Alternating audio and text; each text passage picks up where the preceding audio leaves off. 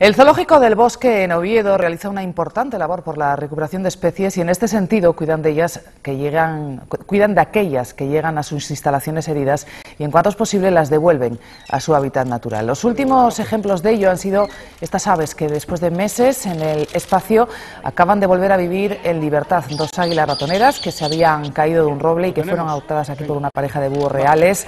También han soltado un cárcabo que trajeron desde la Viana siendo solo un polluelo y que llegó magullado, un mochuelo y un cuervo que enviaron desde la escuela hípica vilesena del Forcón y que llegó con una ala fracturada. Cinco aves que hoy, tras meses de mimos y cuidados, han recuperado la libertad.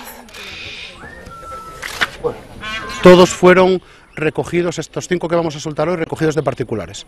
La mayoría los encuentran en cunetas, pues con alas rotas, patas rotas, con fracturas, pues deshidratados, en fin, atropellados por un coche, con lesiones pequeñas.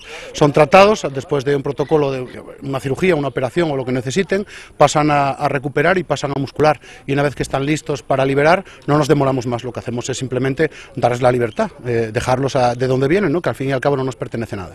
Córvido, que es una especie de corneja, que abundan, por aquí hay bastantes, tenía en radio cúbito en el ala y tuvimos que hacer una, pequeña intervención. Bueno, quedó bastante bien, aunque no quedó perfecta, es apta para poder liberar. Los demás, pues generalmente uno tenía, le faltaba un dedín, a otro pues tenía alguna lesión en un ala pero pequeña, le faltaban plumas, esperamos a que le salieran. Lo demás, pues nada, mantenimiento, hidratación, alimentación y posterior liberación.